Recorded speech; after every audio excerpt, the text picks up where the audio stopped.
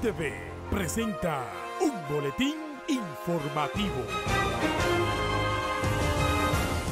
Hola, ¿qué tal amigos? Gracias por estar con nosotros. Cedic Matín, padre de Omar Matín, el hombre que mató a 49 personas en un club gay en Orlando el mes de junio, asistió a un meeting de la candidata demócrata Hillary Clinton en el centro de Florida, según revelan las fotografías del evento.